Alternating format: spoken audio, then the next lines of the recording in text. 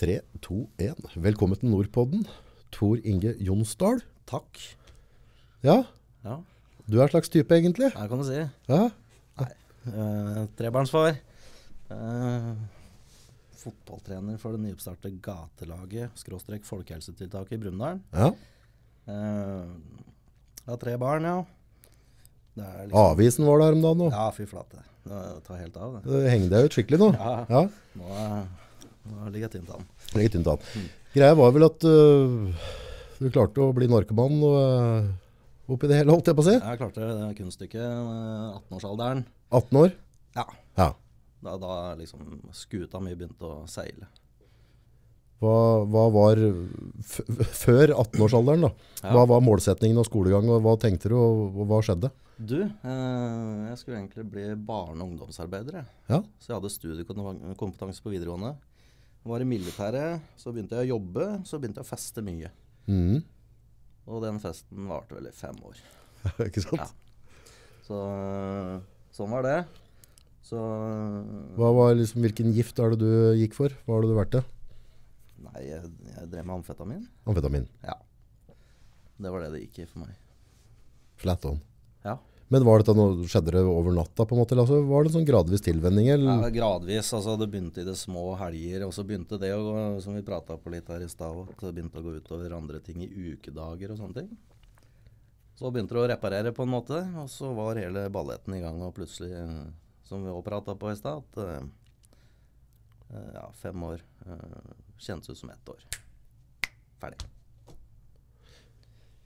Arbeid, familie, venner. Altså, hva Du sier at det går gradvis. Når er det du på en måte Jeg vil jo regne med at du distanserte deg litt fra det gamle miljøet Ja, ved et eller annet tidspunkt, og, og fant deg noen nye jeg- var mer den som isolerte meg, Ok. så jeg trakk meg unna alt. Så du var ikke ute i, i miljøet så mye? Jeg måtte jo skaffe varer, så jeg var øh, Men jeg var såpass paranoid øh, anlagt at jeg reiste aldri samme plassen to ganger på rad. Ok. Stakk under. Opererte under radaren for Ja. politiet. Det var målet mitt, og det klarte jeg, dessverre. Ja, ikke sant? Ja, Kanskje det var greit å bli tatt noen ja ganger? også. faktisk. Men hva drev du med da når du drev og, og knarka deg? Hva, hva, hva gikk daga ut på? Nei, jeg brukte mye tid på PlayStation. PlayStation? Fisking. Knark og fisk? Ja. Ok. Så jeg stakk ut i naturen og var der. Med fiskekort og hele greia? Ja, Ja, lovlydig. lovlydig. Mm. Ja. Jeg var der, altså. ja. Ganske skrudd, men uh, sånn var det. Så du kjøpte fiskekort? Jeg gjorde faktisk det, altså. Tøft. Nei, da faen. Nei. Uh, men, men ja, men sånn var det. Ok, så du, du hang ikke med folk, du satt hjemme og spilte Playstation, knarka, og drev med fisking. Ja. Det er ganske sprøtt. Ja, Stjørselig narkoman, må jeg si. Ja, det var sånn altså, men jeg prøvde å holde meg unna. Det var såpass uh, få som drev med det i Brumunddal nå, Ja, den tida der. Så at uh, altså, hvis jeg hadde vist meg ut, så hadde vel alle skjønt lunta. ja. Så det var vel en måte å holde det, holde det skjult på. Så jeg drev for meg sjøl. Hva er det som gjør at en velger å leve av et liv i rus, tror du? Hvorfor? Det, er mulig jeg følte det på den tida i livet mitt at alt var såpass kaotisk at det, det var på en måte en flukt. Flukt fra alt samfunnet Alt. Ja, for det, det har jeg en sånn, der, en sånn generell oppfatning av folk som kjører, kjører hardt på, på narkotika, at det er liksom eh, det er, akkurat, det er blitt sånn samfunnsfiender. Altså samfunnet, det, altså tannhjula rundt i systemet, det er liksom ish og fysj. Ja. Og det skal vi ikke ta del i. Det er jo litt sånn holdningen er for, et, for en uh, rusmisbruker, tror jeg. Jeg skal være forsiktig å generalisere her, Jo, jo, jo. men, uh, men ja. Uh, I ettertid òg har jeg på en måte vært den som har vært kritisk til mye, men det er verdt å, verdt å bli litt mjukere. Ja, For du ser at det er jævlig mye bra som foregår òg, vet du. ja, For det er det. ja. Kritisk til hva da, tenker du på?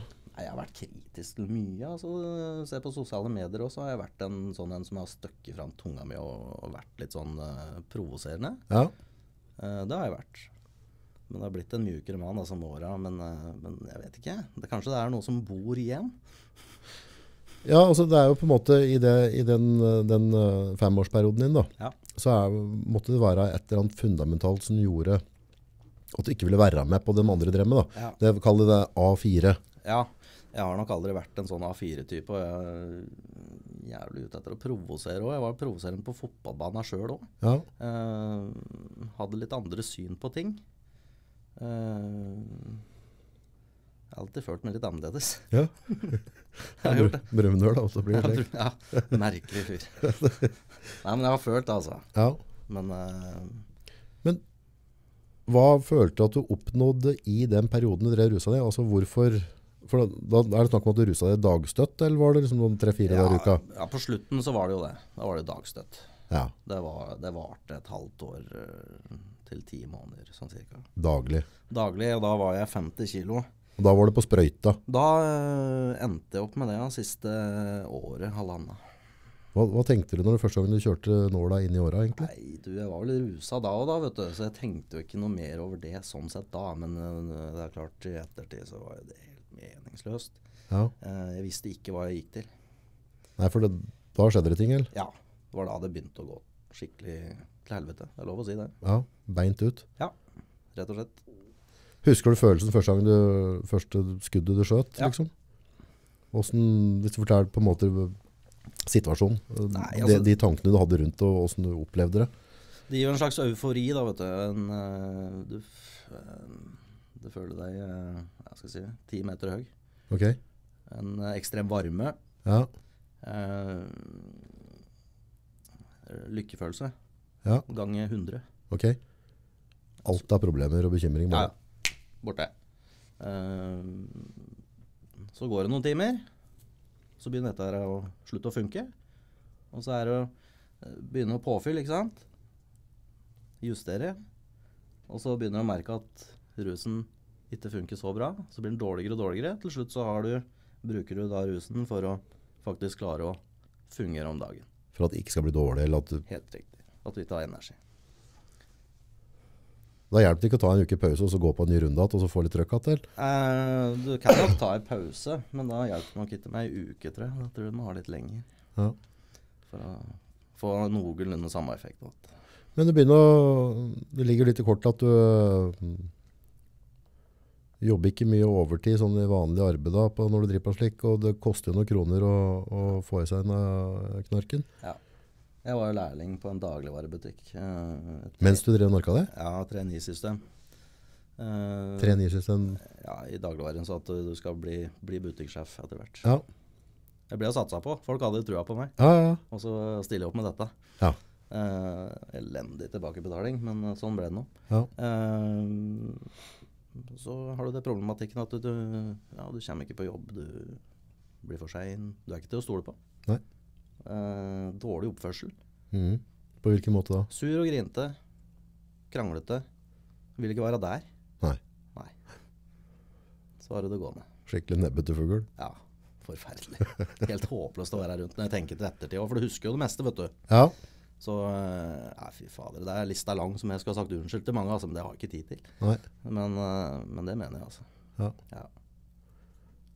Ja, jeg tror øh, den alle har en sånn unnskyldliste, men det, det er noe med at uh, hva vi gjør i dag og i morgen, holder fokus der, tenker jeg. Og så ja. finnes verre folk. Det gjør det. Ja, jeg Det gjør det, tipper det er noen som er dårligere både enn meg og deg til sammen. Ja. Det vet jeg at det er. Ja, så, så det kunne vært verre. Ja. Men rus, ja. om det er, uh, om det er hasj, marihuana, amfetamin, alkohol. Ja. uh, hvorfor begynner yngre mennesker med dette i stor skala, på en måte? Altså, hva, hva, hva Altså, jeg mener at Jeg har en klar oppfatning at når, altså når vi snakker om 13-14-åringer Mm. som begynner å røyke ting og, og ordne og styre, Ja. det, er, det er ikke bare på en måte knarken. Altså, det, det må jo være et eller annet, er det et eller annet jeg gjør gærlig som pappa? Altså, hvor, altså hva, hva, hva, hva, får, hva får et ungt altså, Når du er 13-14 år, da. Det, det er jo liksom før altså Når du blir gubbe, så kan du få noen bekymringer og begynne å overtenke ting. Ja. Når du er 13-14 år, så er det promp, og så bare glise og, og spenne litt i en fotball. Og så skal liksom blomstereng på sommeren og tråka rundt og ikke noe ansvar. Bare suse. Ja. Ja, leve. Hvorfor, hvorfor begynne å flykte da? Hva skjer? Nei, jeg vet ikke. Uh, vi prata litt på det i stad. Mulig samfunnet er i ferd med å bli for kravstort. Uh, skal måles opp og ned i mente eh, faglig. Uh, karakterer Vi blir målt i alt. Uh, vi har liksom ingen arena der vi blir sett uh, der vi er oss sjøl. Personlige egenskaper. Det er det jeg kan komme med. Det er for målinger. Altså, hva er Hvorfor skal Hvorfor skal skolen sørge for at unga mine og dine skal være så like som overhodet er mulig i de målinga? Hvis de ikke da er like, så skal vi på en måte rødflagge det, og så må vi ta tak i det. Ja. Er det ikke rom for å være annerledes mer i dag? Må vi alle altså Har de dratt det A4-systemet inn i et nytt nivå nå? Ja, jeg føler litt det, altså. Jeg gjør det. Jeg gjør det. Det er ikke alle som er uh, lagd for å sitte ved en, uh, ved en kontorpult og skrive. Altså, noen må gjøre det praktisk òg, Mm. f.eks. Um, vi er forskjellige, altså. Ja, også, også, Det må vi få lov til å være. ja, og så er det en forskjellig modningsgrad. Ikke minst. Altså, hadde vi gått ti år tilbake, så kunne vi sikkert bare drept i hatten av samtalen her nå. ja. For da var både jeg og du for umoden antageligvis. Eller, altså, eller, eller i hvert fall ikke komme dit vi er tankemessig nå da. Og, og det kan være forskjell på modningsgraden på en 12-åring og en tolvåring. Ja. Det er liten tvil om. Og så ser du på kjønn nå. ikke minst. Virker som jenten kan kanskje er hakket mer fornuftig i tidlig alder enn gutta på visse områder i hvert fall. Ja, Så er det vel sånn i arbeidslivet at uh, kvinnfolk er ofte de gode ledere, for de følger konsept. Mm. Gutta er litt mer uh, ja, Skien. Ja, cowboys. Cowboys. Men nå er jo du far selv. Ja. Tre stykk. Ja, Kjører på. ja. Hva tenker du, har du satt deg noen sånne greier? Altså, unga dine skal jo også bli ungdommer Ja. og voksne en gang. Mm. Er det visse ting du har tenkt på at du ønsker å følge ekstra tett opp, eller er det ting du ønsker av verdier de skal ha med seg i oppveksten sin, for å ikke um, dra i samme reisa? Nei, jeg vil, eh, skal ikke gjøre så mye annerledes. Jeg er ikke noen sånn mirakelmann, jeg. Men, eh, men eh, det først og fremst så vil jeg ha dem ut på ulike aktiviteter og prøve mest mulig, og så finne noe de liker. Mm. Sånn at de får realisert seg sjøl. Mm. Og så er jeg veldig på det med høflighet og folkeskikk. Der er jeg etter dem hele tida. Det, det syns jeg skal være. Respekt for andre folk, Ja, og for seg sjøl. den er litt viktig. Yes. For den respekt for seg den går rett ut av vinduet i den begynner å bruke narkotika, tror jeg. Yep. For det, det er jo ikke akkurat sånn typisk dritklubb å gjøre mot deg selv. Nei, det er jo helt idiotisk. Uh, hvis du ser sånn helt isolert sett på det, så er ikke det bra. Men uh, nei, uh, sjølrespekt og respekt for andre, det, jeg jobber litt med det. Mm. Det er ikke sånn at vi skal, De skal få lov til å være unger, altså. Jo, jo, jo. jo. Og det, det å realisere seg sjøl. Jeg er ikke den som står og presser på ungene mine. Nei, du skal gjøre det, du skal gjøre det. Være litt uh, open-minded. Hva tror du kunne ha i den, øh, i den brytningspunktet, Ja. da du begynte å ruse deg, hva, hva kunne gjort at det utfallet ikke ble det utfallet? Var det ting i livet du kan se nå? Hadde jeg ikke gjort sånn, eller hadde det og det altså, etter, altså Være litt etterpåklok, da. Det er jævlig Nei, jeg veit ikke, altså. Jeg var, jeg var såpass oppsatt på å gjøre det jeg drev med, at uh, jeg var glup nok til å styre unna alt som uh, kunne være en hjelp for meg. sånn sett. Ja, du dodga det. Ja. Unik. Er det noen måte vi kan fange opp sånne ting? Hvis vi tenker på unga våre sjøl nå.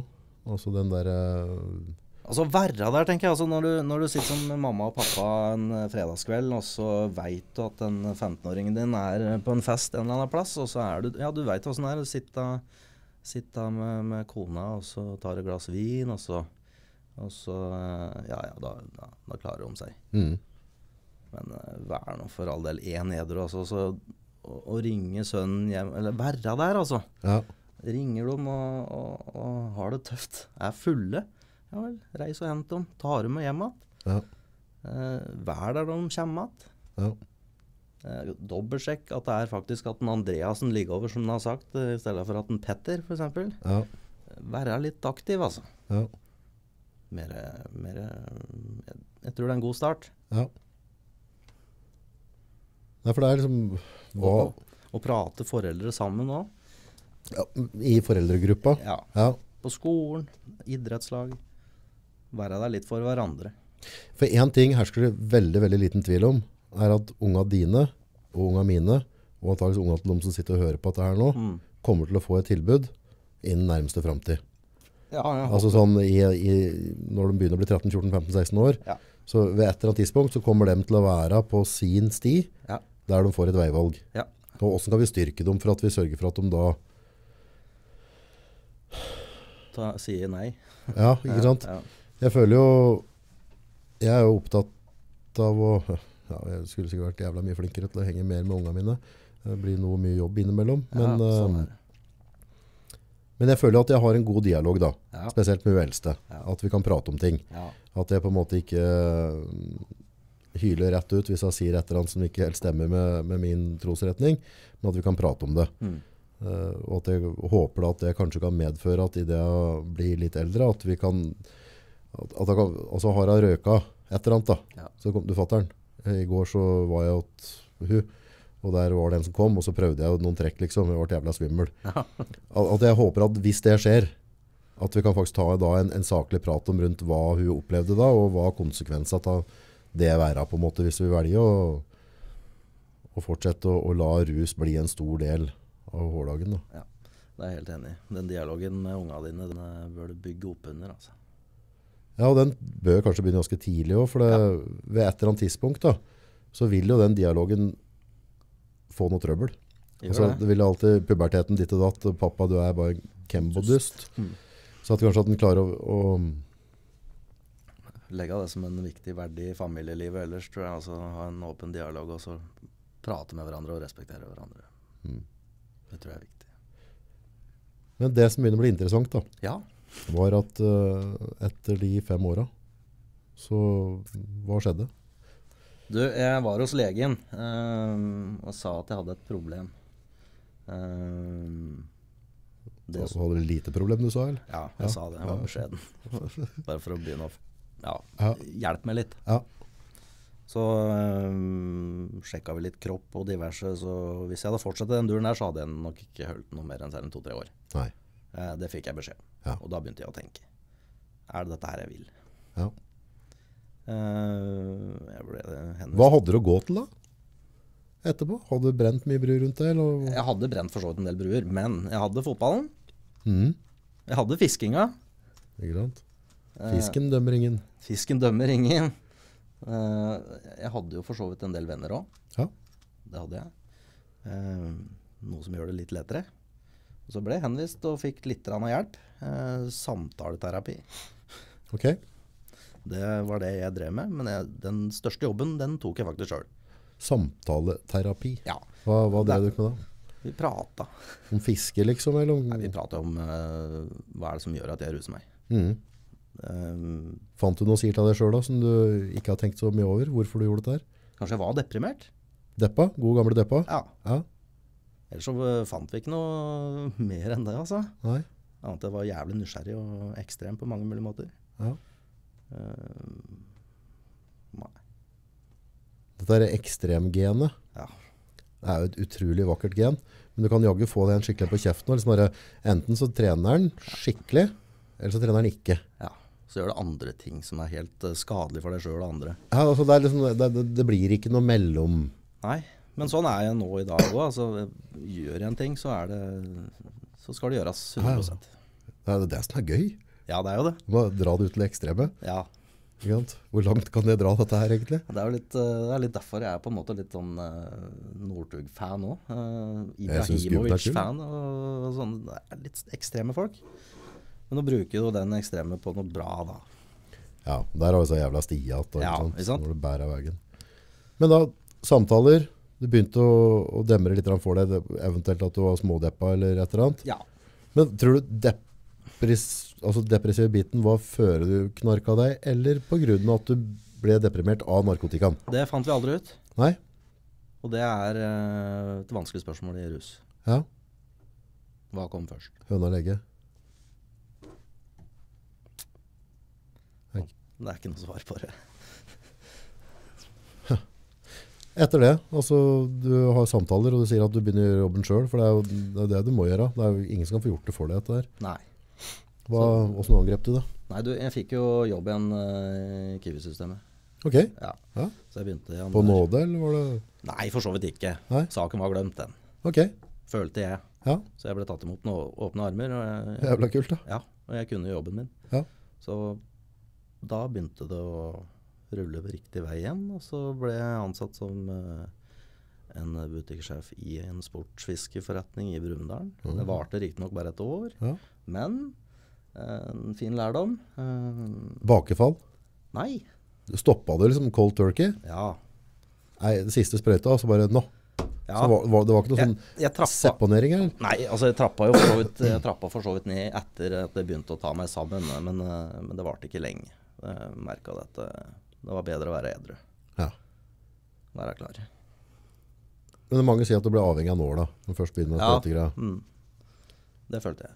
Ja. Ja. Savna det? Ja, en stund etterpå. Ja. Gjorde jeg nok det. Lenge tror du savna han, da? Lenge Du- du- Savnet var der, liksom. Lenge er det For altså, jeg tenker I den savnfasen så må du, da må du være ekstra skjerpa. Ikke sant? Har Ja, du ikke gode må- rutiner da, så bikker du utatpå. Ja. Uh, jeg tipper uh, et år.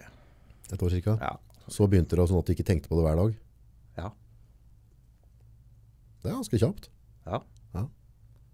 Da hadde jeg bestemt meg. Du har bestemt det. Ja. Ekstremt. ja. Det var tungt, altså. Faen skjære. Nå er det slutt. Ja, nå er det faen meg stopp. Hva gjorde du med rutinen din, da? For jeg, jeg, jeg har jo veldig trua på rutiner, da. Ja. Hadde du noen klare rutiner på hvordan dagene skulle se ut, og hva du bedrev tida med for å ikke eh, bukke etter for det savnet? Nei, jeg begynte å jobbe, som sagt, og da hadde jeg egentlig innlagte rutiner på jobb. Så det var en fin, fin Fritida og helgene, åssen løste du det? Jeg drakk nok noen øl, Ja.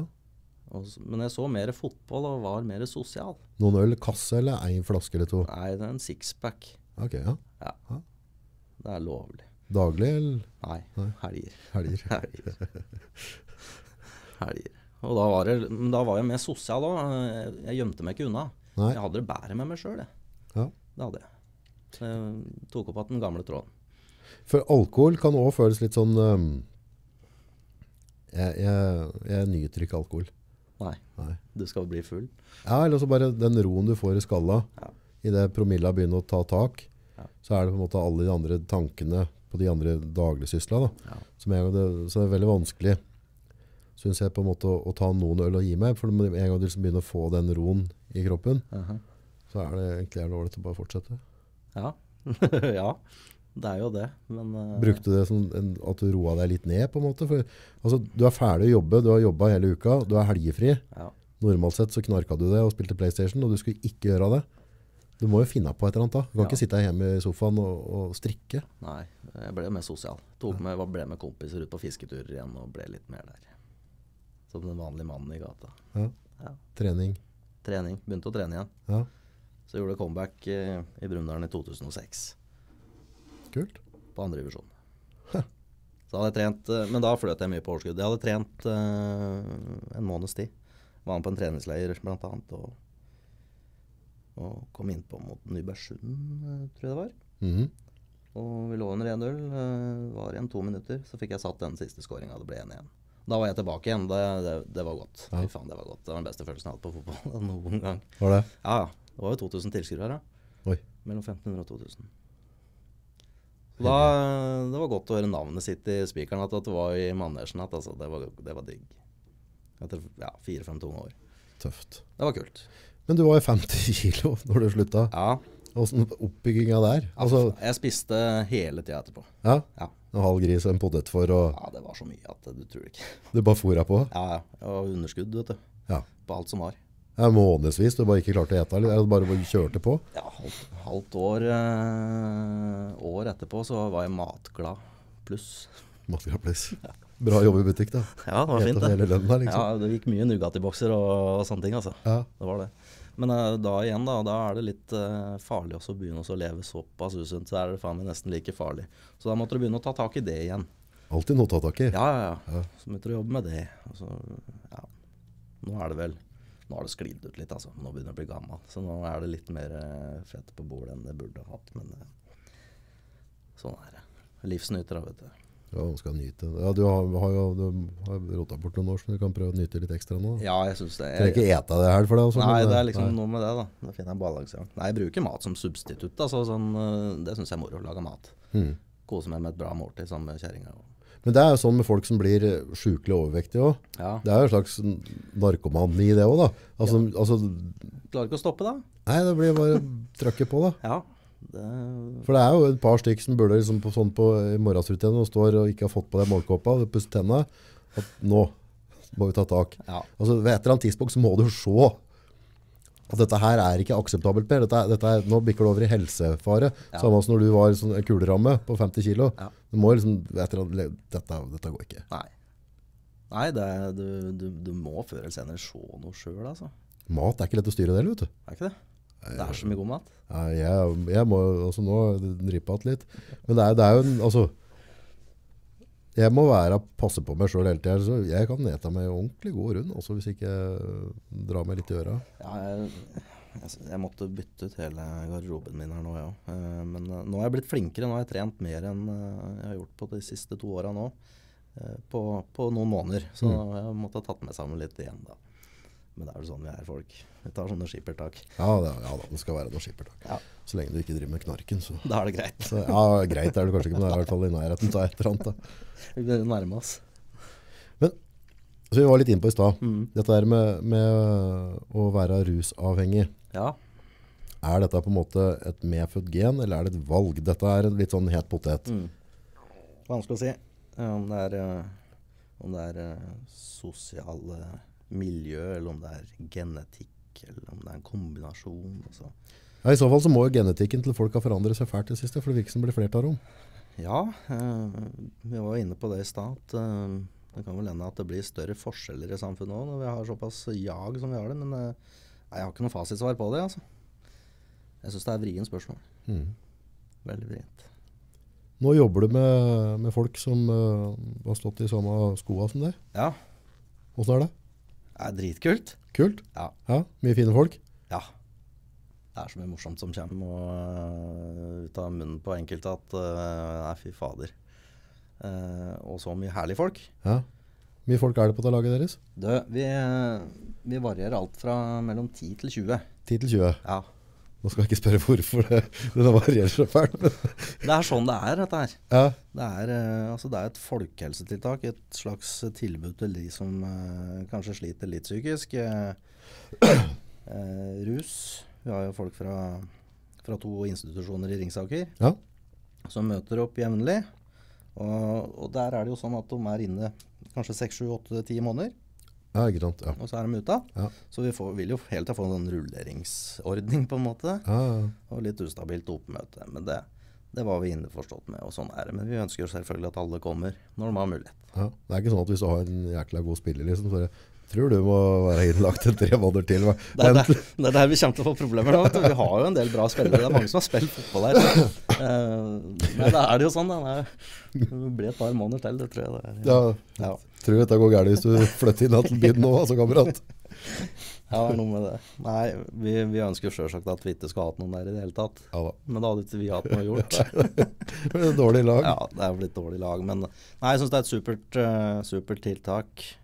At Hva er det du får du, Føler du at det hjelper deg i den reisa du er nå, at du kan faktisk være en bidragsyter for andre at også? Altså, du har en forståelse for uh, hva de er på tur gjennom, da.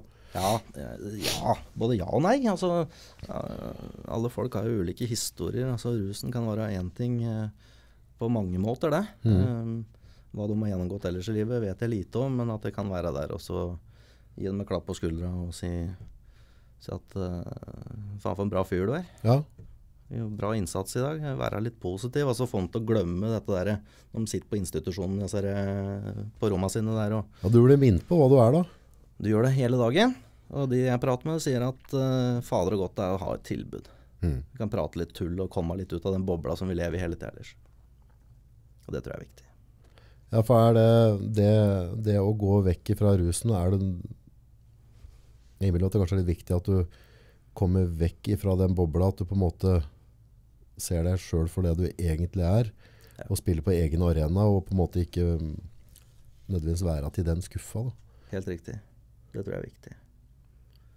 Komme seg litt ut og tenke på annet enn medisinering, psykologer. Komme seg litt bort ifra det. Samme tralten hele tida. Medisinering, Ja, når den slutter. ja. Hvordan, eh, løste du det? Åt du noen piller for å Nei. Jeg gjorde ikke det. Nei. Nei. Har du trua på det som en løsning? Farlig å uttale seg om det. da. Nei, ja. Nei, det, uh, nei jeg, er, jeg er av den typen som uh, ville anbefalt å ikke, Cold turkey. Ja. rett og slett. Nei, jeg tror ikke det er noe mellomting, Ja. Enten eller. Ja, For enkelte, altså si hvis du har eh, Det er så mange individuelle forskjeller òg, da. Så si at du går på heroin i 20-30 år. Altså eh, et, et metadonopplegg eh, vil nok være lurt allikevel. ja, Men, eh, men du er jo ikke, du er ikke kvitt rusen. da. Du er ikke det? Du er Du ikke det? skal ha rusen hver dag allell. da. Ja, så dette er jo en evig diskusjon. Eh, Jeg vil ikke bevege meg så mye ut på den, altså. Men, eh, men jeg har trua på at eh, fader skal slutte, så er det bare å smelle til. Nei, jeg tror det er det meste sånn i livet. Det er sånne halv, halvløsninger. Det blir ofte litt sånn kleint. Ja, vanskelig å få det til å fungere optimalt, tror jeg. Langt var du unna heroin og gata, tror du? Langt. Langt? Ja, heroin var eh, aldri aktuelt. Nei. Det var det siste jeg kunne tenke på. Kunne det ha blitt det hvis du hadde havnet i andre typer miljøer, eller at du hadde vært litt mer sosial, da, ikke bare drevet med fisking og alt? Nei, jeg tror egentlig ikke det. Nei. Der hadde jeg en grense, Ja. faktisk. For den tror jeg, for dem som velger å, å gå, havner at de, at de går over den grensa, Mm. så tror jeg det kan bli ganske heftig. Ja, det er jo det laveste du kommer, da, liksom, i miljøet. Ja, men da tror jeg det går fort utover. Ja, da er du ferdig. Ganske spesielle folk som klarer å komme seg ut av det. Ja, det er, det er kult uh, at de får til det. Altså, hvis du har vært på herreinkjøret i mange år, så og kommer deg opp igjen og blir folk at det er, eh, det er tøft. Hverdagen din nå, da. Ja. Uh, er du på en måte en rusmisbruker, så er du for så Altså, du har jo ja, jeg har Altså, jeg er jo rusmisbruker. Den den eh, slipper jeg aldri unna. Nei. Men er Hva, liksom, hva, er, hva, er, hva er femårsplanen din nå? på en måte? Har du noen klare planer for å ikke Faren vil jo være, da, hvis du, hvis du har, eh, har eh, drevet med rus, ja, er at det skjer ting i livet ditt. Samlivsbrudd, ting et eller annet som skjer. ja, Så er det gjerne da fort gjort å, å, å dette tilbake på det, ikke sant? Ta den der løsninga. Pang, dette gidder jeg ikke forholde meg til. Smokk, så er vi i gang. ja. Det har flere eksempler på det. Hvordan sikrer du Jeg, framtida di? jeg har inngått en skjult avtale med meg sjøl og ungene mine at eh, det skal de aldri få oppleve. Så det er godt å høre. Ja, det er jeg bestemt på. Ja. Og det er eh, Er det én ting jeg skal love ungene mine, så er det det. Ja. For de, eh, de, de skal få slite med meg noen år til. Altså. Ja. Ja, og, og, og slippe å se deg gå nedom igjen. Ja. Det skal ikke de få oppleve. Unger er en ganske magisk ting. Det er helt magisk. Det er tøft. Jeg elsker unger. Ja, det er jo helt rått. Ja. Faen meg snart de eneste ærlige folka som finnes. Ja, på godt og vondt. Få høre det fra dem. Ja, ja. Det er klart alle. Det er bra, det. Ja. Nei, jeg vet uh, når jeg fikk første dattera mi, Ja. så skjedde det ting med meg.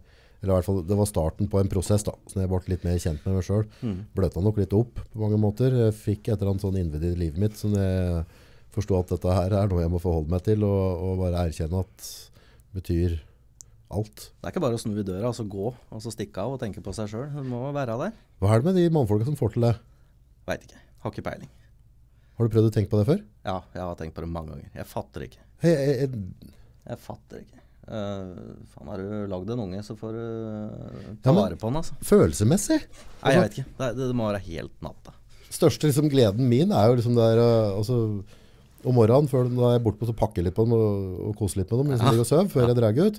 Og så om kvelden. Mm. Og, og, altså, jeg merker jo det altså, jeg, er, der- altså, jeg, jeg er på den der FaceTime hvis jeg er ute på jobb og borte. Ja, vi, og, Og, dere, og skal natta og sånn, ikke sant? Ja. Det er, det er ikke noe, jeg kan ikke reise bort i to uker med deg nå Nei. og ikke prate med ungene mine. Bare drit i det. Det Det, funker ikke. det går ikke. Nei. Må uh, ha litt dialog der. Jeg er sånn hvis de reiser bort og jeg er hjemme alene, Ja, ja. Så er jeg faktisk borte på hueputa og lukter på den. Jeg, altså. Ja, ja, men huset er jo dødt hvis ikke har disse tarmtotta inni Det er ingenting. Det er ikke sjel i huset da. Ingenting. Det er helt idiotisk. Ja, det er helt forferdelig. Det er nesten sånn der eh, modern eh, eh, Hun må låne unga innimellom. Vi spør ikke om barnevakt så veldig mye. Nei. Men uh, hvis jeg har dem over to dager, liksom, så jeg, tenker jeg sånn der, jeg kunne hente dem igjen i morgen. Ja, det er sånn jeg tenker òg. Dette er for noe? Det er helt magisk. Ja, det er magisk. Men hva er det da med disse skallene som klarer å bare ikke få altså, Ikke følge opp. Ikke være altså, ja, altså Går det an? Jeg, jeg klarer ikke å skru av den krana. Nei, ikke heller. Jeg kan gå gjennom ild og vann og hva fader de sier for noe. Mm. Altså, nei, det, det, Nei, jeg går i døden for ungene mine. ja, det er ikke noe tema, Nei, liksom. det, det er sånn det skal være. Ja. Men hva, hva skjer? Folk velger rus framfor det. Folk uh, velger uh, et annet type liv framfor det. Mm. Reise bort. Altså, Bare stenge alt som er av kontakt. Og, Ja, ja, det er mange, det, altså. Ja. ja. Nei, jeg vet ikke. Det er sånn type sånn gutteting òg, tror jeg. jeg tror, det er ikke så ofte, jeg har jo hørt om det, men det er ikke så ofte at damer stikker fra unga. Det skjer nok det òg. Morsinstinktet er nok sterkere enn farsinstinktet. eh, Fra naturen? Fra naturen, ser det ut som. Ja. Uh, Ja, for de første to åra. Altså, jeg var glad i unga som da òg, forstå meg rett. Men da, liksom, tror jeg vært begge bikka to, så begynte det å bli liksom pappagreier. ja. For da fikk vi en eller annen sånn derre Da var det en greie, da. Ja. ja. Merker det på pappapermen nå. Altså, øh, nå har vi jo 15 uker nå, vet du.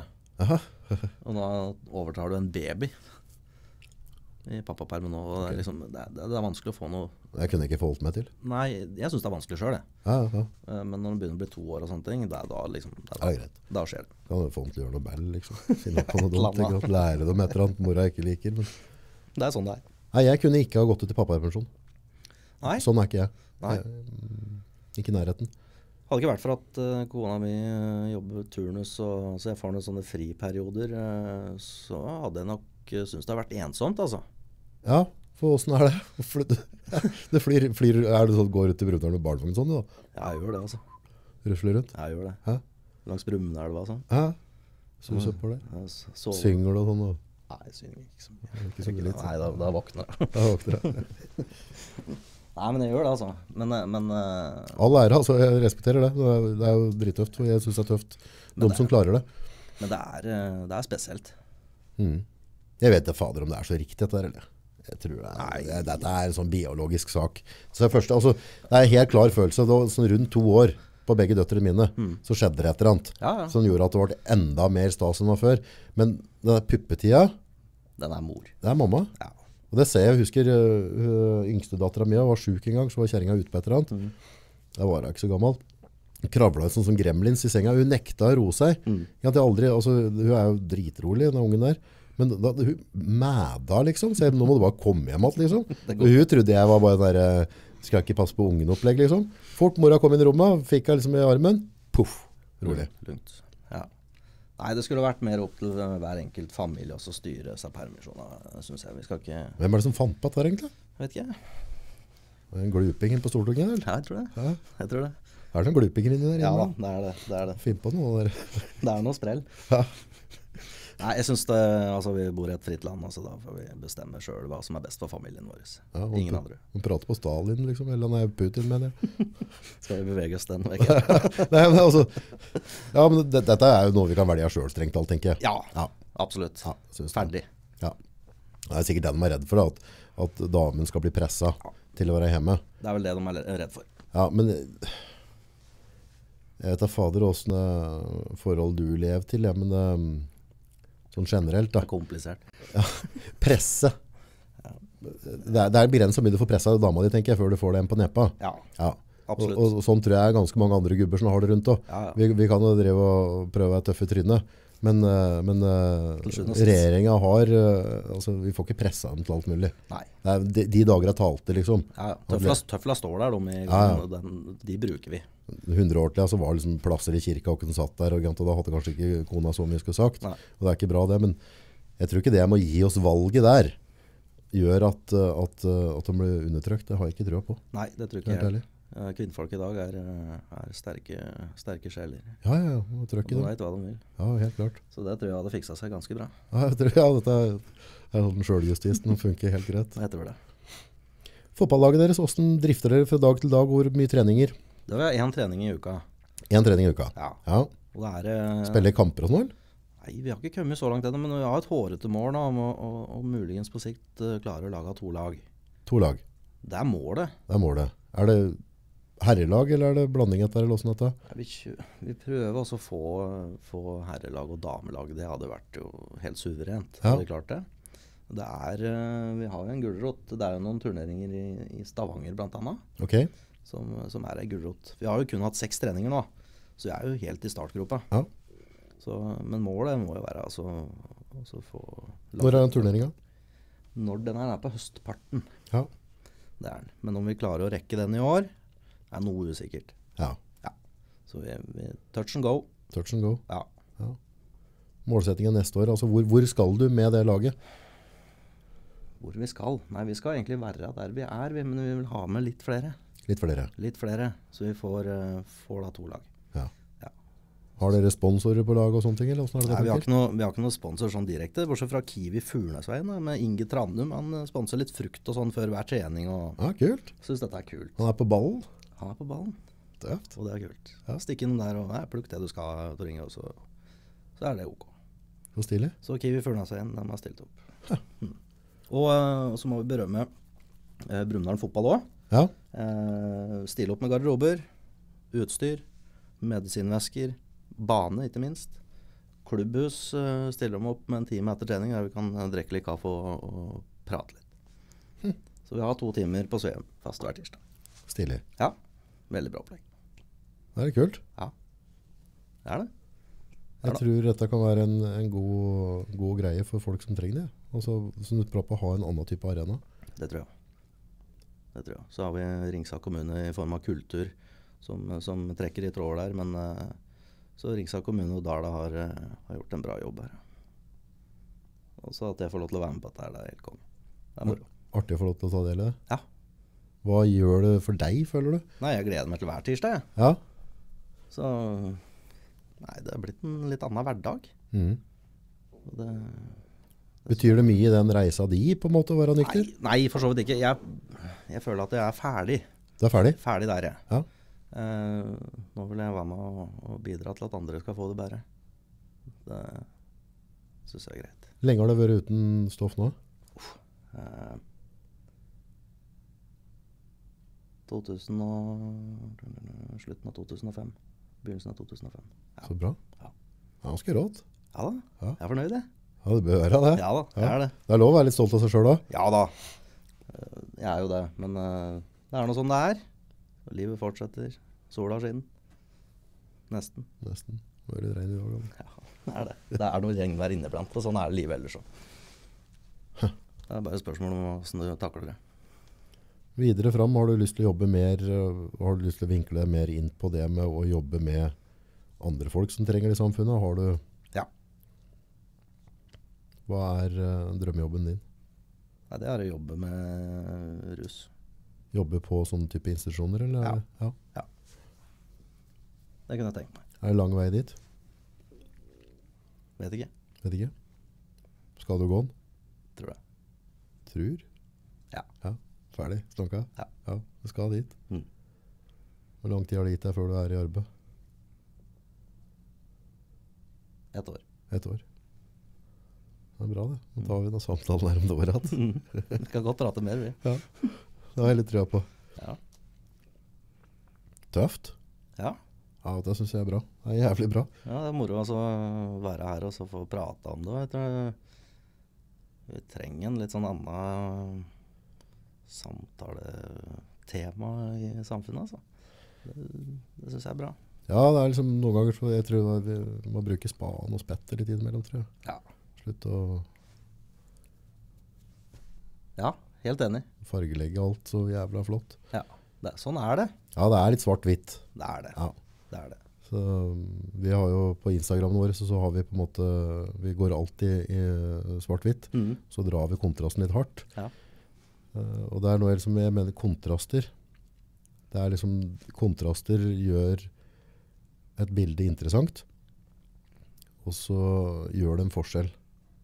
På en eller annen måte. Og det er på en måte det jeg ønsker at vi her også skal gjøre for våre kunder på en eller annen måte. At, vi, at, vi er, at, at det ikke bare blir en graut. Enten gjør det, eller så gjør du det ikke. Sånn Ferdig. Og det tror jeg er litt viktig at vi har med oss videre i, i hverdagen. Folk må gjøre hva de vil, og det er forskjellig fra mennesker til mennesker. Jeg, jeg, har hvert fall, jeg er veldig klar på det. På det å, å, å, klemme på litt skikkelig. Ja. Først skal jeg gjøre noe, så Ja. gjør det ordentlig. Utrolig kult at du tok turen innom. Takk for at jeg fikk ja. komme. Artig å få høre litt om historien. Vi har sikkert mer sånne gode historier vi kunne komme med. Så, Ja, det er noen på lager, men vi må ikke avsløre alt. da. Nei, Nei, det er ikke så fordømmende mye å fortelle heller. nei, det er sinnssyke fisketurer, liksom. Ja, det, altså, det prater vi om mer om seinere. Hva er den dummeste fisketuren du har gjort, da? Hvor lenge varte den, eller et eller annet? Nei, Det var ikke rusa, men det var rett ut på fjorden her. Det. Jeg og en kompis skulle utpå. Vi hadde drukket noen øl, riktignok. Det var ikke gamle kara, så eh, hadde vi kjørt i ja, 50 meter. Vi hadde akkurat satt på ny brakett, så motoren satt på. Så kjørte vi påhengsmotor. Så satt kompisen min og styrte, og så plutselig så vroom, Motor borte. motor borte. Satt der. Fisketuren over. Hadde ikke med årer, Nei. Vi hadde gudskjelov litt nordavind, så vi drev inn bort på, bort på Stela strand. Var det noe fisk, da? Nei. Nei. er det sånn at dere fisker hele natta sånn nå, eller? Nei, ikke nå lenger. Nei. Jeg, jeg gjorde det før. Ja. Så jeg investerte i uh, fiskebåt for konfirmasjonspengene mine. Så uh, den hadde jeg mange timer i. Men nå er den borte. Var den borte. Mm. Ny båt, nye årer. Ja, nå reiser jeg heller til fjells med en kompis. Så bra. Jeg må sove om natta. Det er godt, det òg. Ja, det er, Vi blir lat ute på Gamma. ja, det, altså er det liksom sånn når du har tre unger, da, så er det godt å, å sove litt. Det, det blir mye ja, jag. Det er godt å dra på fisketur òg, tenker jeg. Eh, Jeg skal ikke nekte for det. sånn er det. Sånn er det. Det er, det er godt å ha noen pauser innimellom. Ja, det er godt å bli ønska god tur, også velkommen hjem. Ja, det er stas. Ja. Fortsett på å jobbe hardt, så må du si fra hvis det skjer noe rundt uh, det laget deres. Ja, Det er litt artig å følge med på. Mm. Det er sikkert en del uh, artige typer der, vil jeg tro. Ja, ja. Kjempegjeng. Ja. Så det skal vi, vi skal jobbe med det. Det var som vi prata, prata på sist. Vi hadde med en for mange år siden som var med og, og boksa med oss. Mm. Så, som da dessverre det gikk gærent med, holdt jeg på å si. Men det, det, det, det som var magisk, at det, det var en så utrolig fin fyr. Positiv og delende. Og så var han knakende god i bokse òg. Mm. Hadde talent. Ja, ja det, helt klart. Og, og gå-på-vilje. Det, det var, altså, han var det skikkelig gnist i. Ja. Ordentlig artig type å ha rundt seg. Ja. Og så var han på perm. Borte. Borte. Mm. Overdose. Stusslig. Det er mange Det er helt tragisk. Ja, det er mange historier som ender sånn, dessverre. Det er, eh, det er synd. Rett og slett. Det er mange fine Ettervern. sjeler. Ettervern. Du må ha noe å drive med. Du må ha rutiner. Ja. Må det. Komme seg inn i noenlunde normale forhold. Konge. Da runder vi av her. Det gjør vi.